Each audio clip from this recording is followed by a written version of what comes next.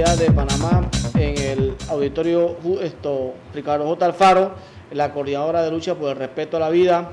en un encuentro de dirigentes, eh, se acordaron acciones eh, en primera instancia, eh, apoyar la huelga que han estado desarrollando los médicos en rechazo a lo que es el anteproyecto de ley 349 de asociación público-privado.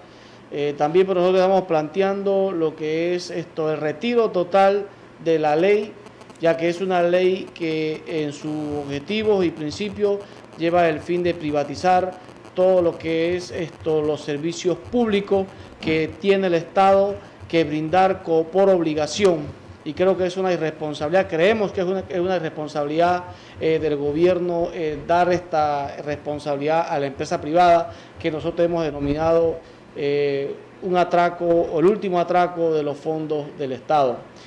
para esto, pues nosotros hemos esto, llevado una serie de acciones. En el día lunes, una concentración en la Asamblea de Diputados a partir de las 3 de la tarde. Eh, vamos a estar allí todos los, dirigentes y, invitamos también al pueblo panameño y demás organizaciones a protestar en contra de esta ley, igual pues apoyando el paro de los, médicos y el rechazo total de esta ley nefasta. Eh, también estuvimos tocando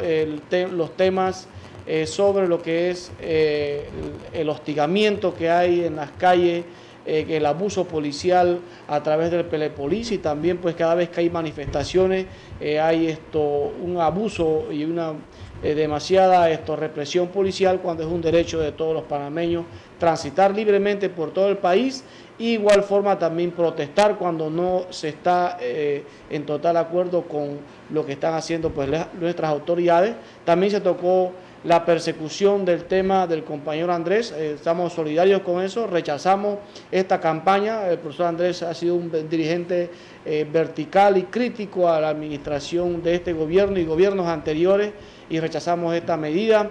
Eh, pedimos pues que se cumpla el debido proceso sobre esta situación y también pues estamos esto, invitando al pueblo a, estar a mantenerse en estado de alerta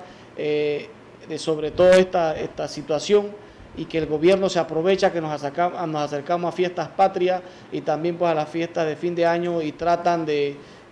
jugar con el pueblo, tratando de meter estas leyes eh, que son bien nefastas, como también es el tema minero, que una vez más se burlan de los eh, eh, compañeros esto, de los grupos originarios, en este caso los Novebulé eh, donde ellos estuvieron luchando en contra de esta ley 8 y ahora intentan nuevamente meter esta ley que va en contra del desarrollo humano de estas personas, pues y va a traer muchos más problemas sociales que no lo resuelven y lo que hacen es buscar más problemas todavía. Así que pedimos al pueblo que se mantenga en esta... Para el pueblo lo que del pueblo, para el pueblo.